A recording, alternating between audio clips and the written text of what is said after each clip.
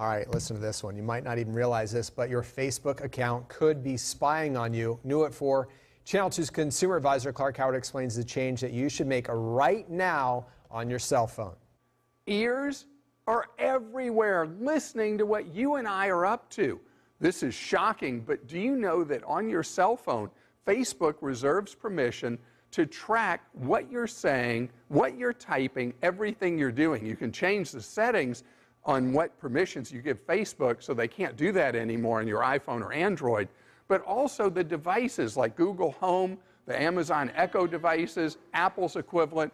They all have the ability to listen into what you're doing, and all three have now admitted that they have humans randomly listen to conversations of various people, supposedly to improve the artificial intelligence in their devices.